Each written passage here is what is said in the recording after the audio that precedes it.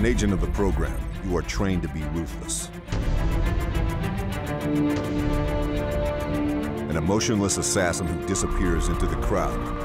But our latest conversation has me concerned. Given the timeline of your new assignment, you can't afford to be distracted. The mission is everything. And son, do your homework.